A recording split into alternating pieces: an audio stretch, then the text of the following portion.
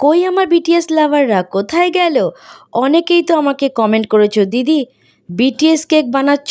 ঠিক আছে বাট আমাদের কিন্তু দাবি পিঙ্ক আর ব্ল্যাক কম্বিনেশনে বিটিএস কেক দেখতে চাই। তো আজকে আমি তোমাদের জন্য পিঙ্ক আর ব্ল্যাক কম্বিনেশনের বিটিএস পেস্ট্রি কেকের ডিজাইন নিয়ে চলে এসেছি। তো কেকের ফ্লেভারটা ছিল চকলেটি কারণ ওপরে ব্ল্যাকটা আমি কিন্তু চকলেট দিয়েই করেছি। ব্ল্যাকটা চকলেট ছাড়া ভালো লাগতো না। ক্রিমে যদি ব্ল্যাক কালারটা দিতাম, ওটা ঠিক টেস্ট টেস্টি হতো না। আমি সবসময় এটাই মাথায় রাখি, ডিজাইনের সাথে সাথে টেস্টার সাথে যেন কাস্টমারে কোনো কম্প্রোমাইজ না করতে হয়। ফার্স্ট টাইম যখন বিটিএস কেক বানাই, তখন পার্পেল কালার দিয়ে কমেন্ট সেকশন একদম লাভ রিয়াক্টে ভর্তি ছিল।